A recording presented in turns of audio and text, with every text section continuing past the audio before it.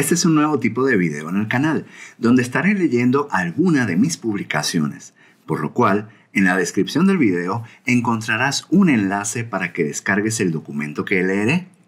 Puedes seguir conmigo la lectura para descubrir mis investigaciones de una manera diferente, ir escuchándolas mientras haces otra cosa o aprovechar mi lectura en voz alta para relajarte.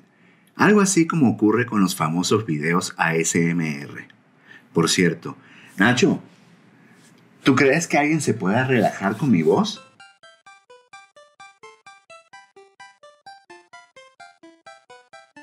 Leamos entonces.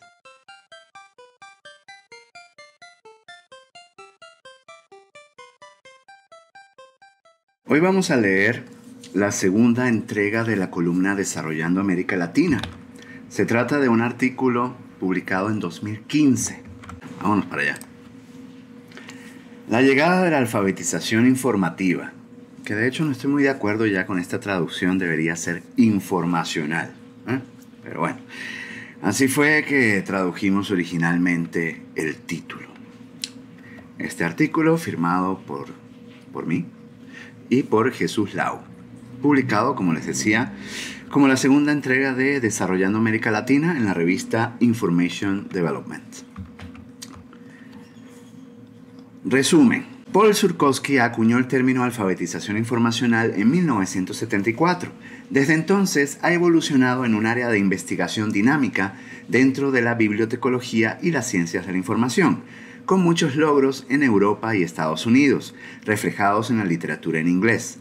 Esta entrega de Desarrollando América Latina rastrea una ruta alternativa, explorando la llegada de la alfabetización informacional a la región latinoamericana y sus principales desarrollos.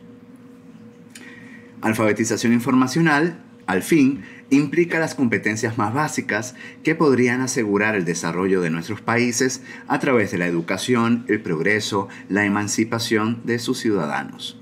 Aunque ha sido definida con diversas dimensiones, hay un acuerdo internacional en que se relaciona con la capacidad de un individuo para acceder, usar y evaluar información.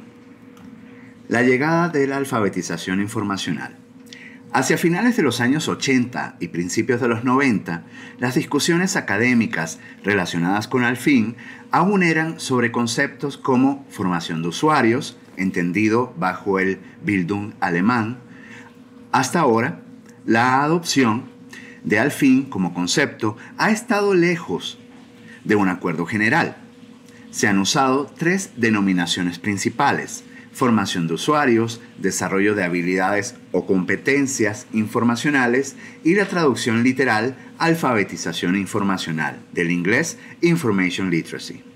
No necesariamente correcta, dados los idiomas y contextos de América Latina. Esta conceptualización fue introducida por investigadores de España. El primer término está en desuso, mientras que el último es el más extendido y parece que seguirá siendo el dominante, dada la cantidad de investigadores que lo usan. Esto es aún más cierto hoy en día. Si ustedes buscan alfabetización informacional versus otro término, desarrollo de habilidades informativas, por ejemplo, van a encontrar que al fin domina. Durante los años 90 existió la necesidad regional clave de construir sistemas de información cada vez más complejos, amplios y robustos, mientras que había una demanda informativa insuficiente en cuanto a asistencia de usuarios y solicitudes hechas a las unidades de información, que permitiera justificar esta labor y en general el trabajo de los profesionales de la información. La demanda era insuficiente en cantidad y calidad, los usuarios estaban satisfechos al solo usar libros de texto y no revistas científicas o recursos en inglés. Además, el problema en juego iba más allá de ideas como la instrucción bibliográfica, formación de usuarios y las visitas guiadas a las bibliotecas, las cuales son actividades que implican mostrar a los usuarios lo que tenemos, pero no necesariamente enseñarles cómo usarlo. Por lo tanto, los primeros promotores de Alfin tuvieron que hacer que sus colegas se dieran cuenta que esta era una forma estratégica de resolver esta necesidad. Aunque los actores de las bibliotecas no necesariamente tuvieron la idea de al fin, afortunadamente reconocieron la necesidad principal de desarrollarlo. La Conferencia Mundial de la Federación Internacional de Asociaciones de Bibliotecarios e Instituciones IFLA en su edición número 61 en Estambul fue importante para la llegada de Alfin a América Latina. Algunos profesionales de la región, como el mexicano Jesús Lau, estuvieron en la conferencia intrigados por el concepto y principalmente por la presentación de Rader en 1995. Por lo que al regresar comenzaron a aprender más y a desarrollar iniciativas en sus instituciones. Las primeras referencias en español que mencionaron explícitamente el término al fin fueron la traducción de los estándares para la educación superior de la Asociación de Bibliotecas Universitarias y de Investigación, de la American Library Association y la alfabetización informacional en el entorno del servicio de referencia, preparándonos para el futuro, de la mencionada eh, colega Rader en 2000. Los primeros documentos escritos por investigadores de América Latina son los de Vega, Córdoba y Hernández. Es posible conseguir ejemplos anteriores escritos en España, pero eso iría más allá del alcance de esta columna. En 2003, la sección de Alfin de la IFLA fue conformada y Lau fue su primer presidente, responsable también de uno de los documentos claves para Alfin, las directrices sobre desarrollo de habilidades informativas para el aprendizaje permanente, de 2007. Las directrices dieron visibilidad a la IFLA y algo de relevancia en cuanto a Alfin durante la década siguiente lo cual ayudó a que el tema se diera a conocer en los países más pequeños de América Latina. Las primeras iniciativas en América Latina pueden ser rastreadas a la Universidad Autónoma de Ciudad Juárez, la UACJ, en México, la cual podría ser una de las precursoras en el tema. Por lo menos fue la primera universidad en México y probablemente en América Latina. La UACJ poseía la necesidad clave que describimos anteriormente, pero aún no había identificado su nombre y las implicaciones para la academia, aunque comenzaron a trabajar en Alfin después de algunos talleres conceptuales. Ellos organizaron la primera conferencia regional relacionada con Alfin en 1997, el primer encuentro nacional sobre desarrollo de habilidades informativas. Su objetivo era promover el tema en el país e invitar a expertos internacionales para profundizar la discusión sobre Alfin, su entendimiento, su promoción e impulsar iniciativas por parte de bibliotecas y universidades. La conferencia tuvo la presencia y presentaciones de instituciones y académicos de la región que aún siguen activos en esta área y se produjo la primera declaración de Alfin en el mundo. Aguilar y otros de 1997, ya que antecede a la Declaración de Praga que se escribió en 2003. En adelante se realizaron muchas conferencias y fueron positivas para el desarrollo de Alfin en América Latina, al facilitar las circunstancias y brindar la motivación necesaria para que los académicos escribieran, publicaran, conectaran y colaboraran con sus pares permitieron a los investigadores de América Latina movilizarse y ser conocidos en la región. Alfabetización informacional en países de América Latina. Alrededor de 2009, la sección de Alfin de la IFLA creó Infolit Global, que creo que ya no está activo, un sitio web para almacenar materiales sobre Alfin producidos a nivel mundial. Ah, pero fue abandonado. Sin embargo, después de su creación fue lanzado un conjunto de recursos bajo el nombre Alfin Iberoamérica. Incluso pueden encontrar un grupo de Facebook con ese nombre. Y se comenzó a construir como parte de una investigación doctoral de Alejandro Uribe Tirado de 2013. La wiki Alfabetización Informacional en Iberoamérica, Estado del Arte, Alfin Iberoamérica 2015, es posiblemente el recurso referencial más completo del campo de alfin en la región y aunque incluye a España y Portugal, es posible localizar referencias a documentos desarrollados por académicos de la mayoría de países de América Latina. Los otros recursos que utilizan datos de la wiki, un mapa, que muestra bibliotecas y proyectos con experiencias de Alfin, y la cronología de Alfin, que presenta logros, publicaciones y experiencias desde 1985 al presente. La tabla 1 fue construida con datos recogidos de la Wiki Alfin Iberoamérica en 2015, con 1.329 referencias correspondientes a América Latina, clasificando a los países por su desarrollo de Alfin. La primera columna indica los países, la segunda, vamos a ver un poquito la tabla, está más abajo, ahorita la vamos a ver. Eh, la primera columna indica los países, la segunda la producción intelectual, que es la suma de artículos, ponencias en congresos, libros y capítulos de libros, videos y contenido web. La tercera columna indica el número de eventos y conferencias auspiciados por cada país. La cuarta refleja el número de experiencias documentadas y cursos. La última contiene el número de tesis producidas. Esto parece ser un factor claro en el desarrollo de Alfin. Cada país ha tenido desarrollos interesantes que sería un reto resumir en este espacio. Por lo tanto, solo comentaremos brevemente algunos aspectos relevantes de los primeros tres países, Brasil, México y Colombia. Brasil entró a este campo más tarde que otros, pero ya ha superado a México, al menos en la cantidad de productos que se contabilizaron. Brasil tiene un alto número de investigadores, tesis y la conferencia Competencia Informativa, Escenarios y Tendencias, la cual tuvo su tercera edición en 2014. Las instituciones brasileras relevantes son Universidad de Brasilia, Universidad Estatal Paulista y el Instituto Brasilero de Comunicación Científica y Tecnológica.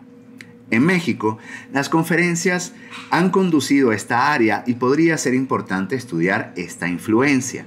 Al momento de escribir este texto, la UACJ ha auspiciado tanto la primera como la más reciente conferencia regional de Alfin, en 1997 y 2014 respectivamente.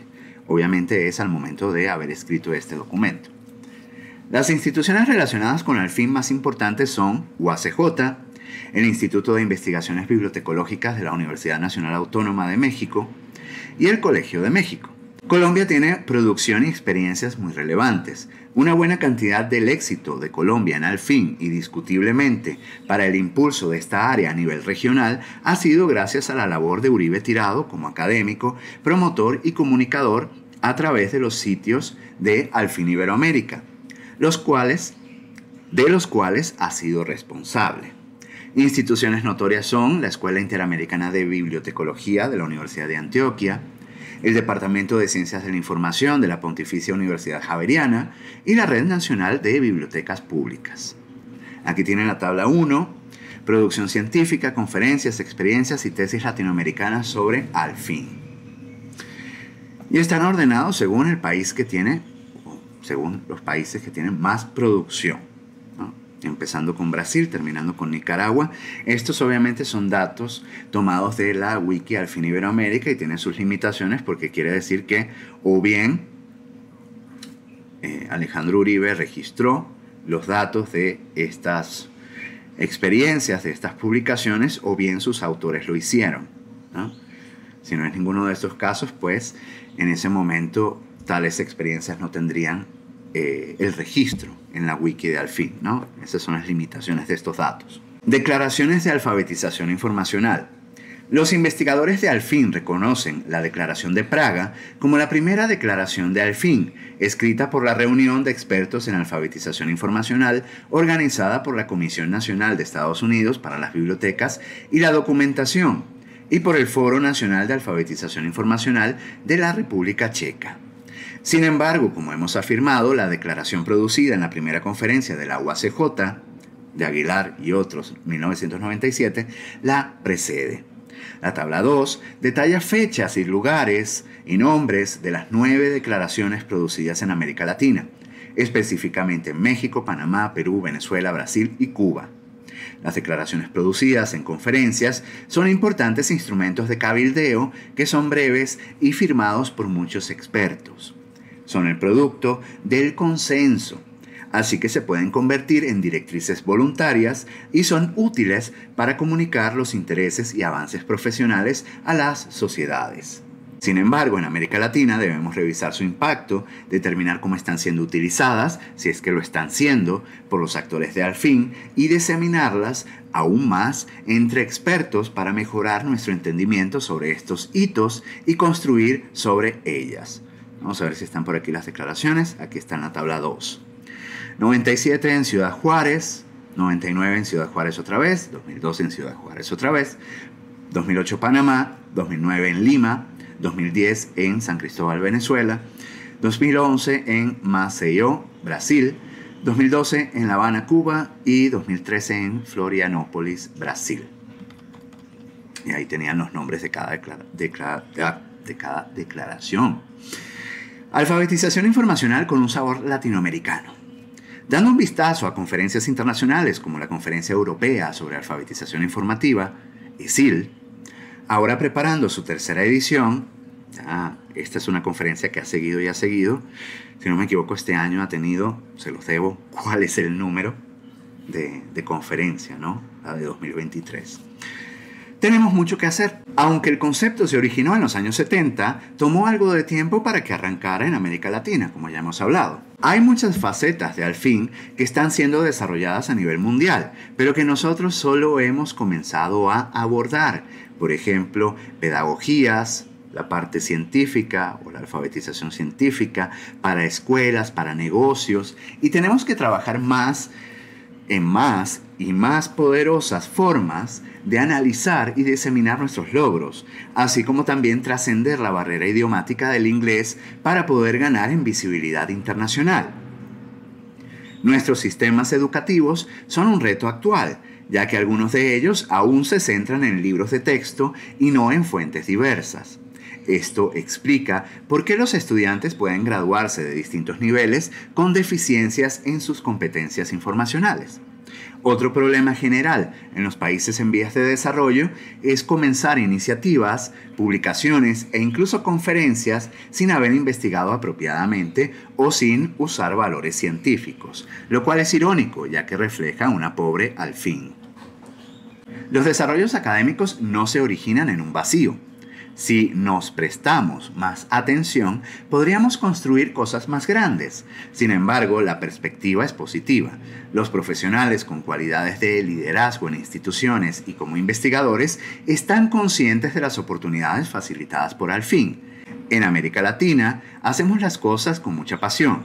Generalmente no tenemos todos los recursos necesarios, seguimos trabajando frente a las dificultades. Si pudiéramos revisar con una alfin apropiada lo que hemos realizado para llegar a donde estamos, analizar cómo hemos llegado aquí, además de lo que hemos pensado y soñado desde la academia, la sociedad y la literatura, podríamos lograr la integración y el desarrollo regional.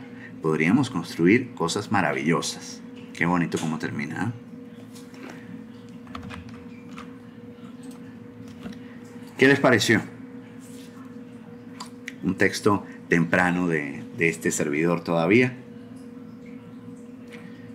Aunque creo que fue importante eh, rastrear ese origen o parte del origen de Alfin en la región, cómo fue que entró.